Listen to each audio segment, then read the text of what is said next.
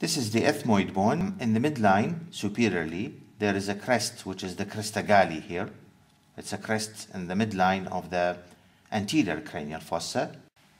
On the side of the crista galli, this is the cribriform plate of the ethmoid bone that forms the roof of the nose and through which the olfactory nerves pass. And here, the, on the side, these are the ethmoidal air cells. We have a group of air cells, anterior, middle, and posterior ethmoidal air cells. This part of the ethmoid bone is the orbital plate of the ethmoid bone. It can be seen in the medial wall of the orbit. And this is the perpendicular plate of the ethmoid. It forms part of the nasal septum. And on either side, these bones, they form the middle and superior conchae in the lateral wall of the nose.